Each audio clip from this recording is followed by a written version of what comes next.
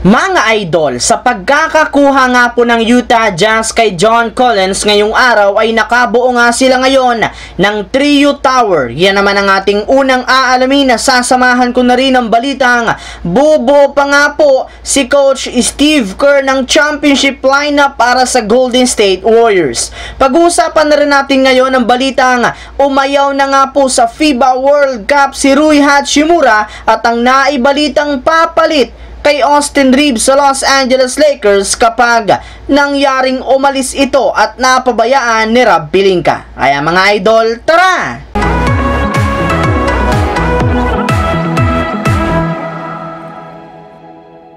Ang videong ito mga idol ay hatid sa inyo ng Aurora Game, isang play-to-earn mobile app na kung saan pwede kang kumita habang nag enjoy ka. Maraming mga games dito mga idol gaya ng Color Game na alam kong siguradong mananalo kayo. Dragon versus Tiger na simple lang pipili ka lang kung Dragon ba o Tiger ang mananalo. Meron ding toss a coin na alam kong alam nyo na at marami pang iba. Sobrang dali lang mag-register gamit lang ang iyong mobile number number, hintayin ang verification code at gumawa ng password. Madali lang din mag-cash in at pag panalo, cash out agad gamit ang iyong GCash account. Kaya ano pang hinihintay nyo mga idol? Mag-download na at manalo. Nasa comment section ang link para makapagsimula na kayo. Kung inyo nga pong matatandaan mga idol, naging maganda sana ang simula ng Utah Jazz last season sadyang hindi lamang ngayon naging sapat para makapasok sila sa playoffs. Kaya ngayon nga pong off-season, balak nga nilang ayusin ang kanilang lineup. Sa katunayan,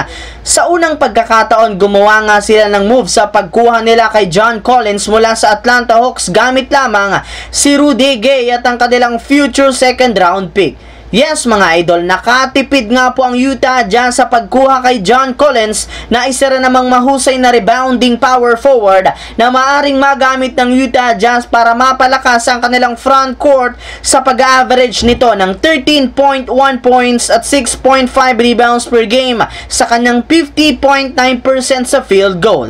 Dahil nga po sa pagkakakuha nila kay John Collins, nakabuo na nga po ang trio tower kasama si Lori Markkinen at Walker Walker Kessler na pare-pareho rin namang mahuhusay na big man na kayang magdomina sa ilalim ng basket pagdating sa depensa. Kaya mukhang magkakaroon nga talaga ang Utah Jazz ng mas magandang kampanya next season. Samantala, dumako naman tayo sa ating pangalawang story ngayon sa balitang bubuo pa nga po si Coach Steve Kerr ng championship lineup sa Golden State Warriors. Kahit man nga po nakuha na ng Warriors si Chris Paul noong nakarang araw, inamin pa rin naman nga po mismo ni Coach Steve Kerr na hindi pa tapos ang kanilang kupunan sa pagkuha ng mga bagong malalaro sa pamamagitan man niya ng trade o di kaya free agency. Kaya marami pa rin naman nga silang dapat ayusin sa kanilang lineup para maging isa itong championship level at isa nga po sa kanilang mga gagawin sa mga susunod na araw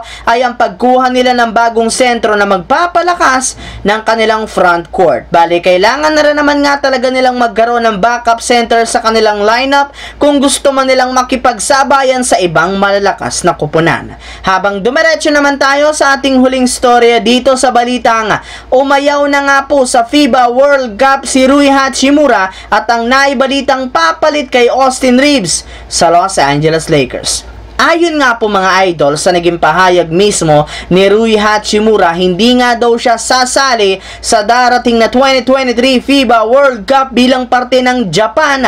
Gayong mas paghahandaan nga nito ang pagpasok niya sa kanyang kauna-unahang free agency sa kanyang NBA career. Yes mga idol, mas prioridad nga nito ang kanyang future at ang pagkuha niya ng bagong kontrata ngayong off-season gayong delikado nga at baka magtamo pa siya ng injury Curry sa FIBA World Cup na wala pa siyang nakukuhang kontrata sa Los Angeles Lakers o di kaya sa ibang kupunan. And speaking of Lakers mga idol, may lumabas nga pong balita ngayon na meron nga silang nakuhang papalit nga daw kay Austin Reeves kung sakasakali mang umalis ito.